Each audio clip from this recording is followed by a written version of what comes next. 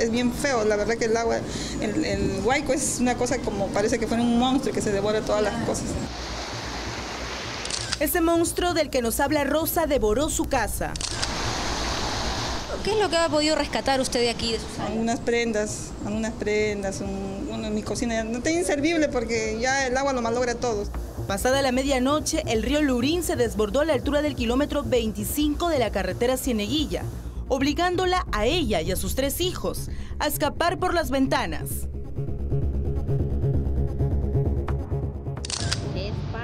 Observa esta casa en medio del agua. Después de varias horas, sus inquilinos se convencieron de que tenían que abandonarla.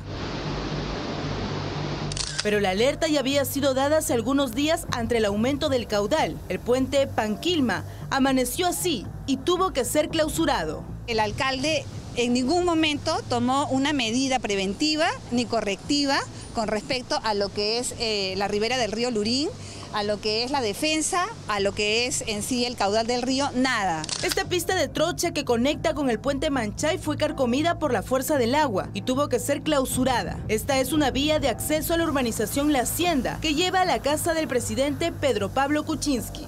Maquinaria, por favor, maquinaria, urgente necesitamos maquinaria para poder enrocar y cuidar todos los bordes de, de la faja marginal y evitar que el río salga hacia la parte de viviendas. Los clubes campestres y restaurantes también se han visto afectados. Está cerrado el club. Está cerrado mayormente. ¿Cuántos días ya lleva cerrado? Eh, ya tenemos dos días cerrados. Bastantes pérdidas, ¿no? Sí, pérdida totalmente.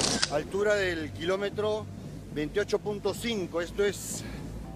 Otra de las víctimas de estos desbordes fue el actor Sergio Galiani, que a través de sus redes sociales transmitió todo lo ocurrido en vivo. Esa es la puerta de mi casa, que ya no hay puerta. Eh, estamos eh, tratando de... El río se está comiendo absolutamente todo. Ya no existe la pista que teníamos acá al frente, ya se la comió. Se está levantando ahí. Entonces, ¿qué pasa? Se está comiendo toda esa parte, se la está comiendo y se está levantando polvo, ¿te das cuenta? Y se ha ido comiendo, comiendo, comiendo. Y allá hay casas, hay viveros, hay ganado. Mira, ahí se está cayendo, se lo están tragando. Claro, parece un deshielo, pues algo así. Es urgente que las autoridades tomen previsiones. Hoy son cinco familias las que han perdido sus casas, pero mañana pueden ser más, pues las lluvias en la sierra continúan.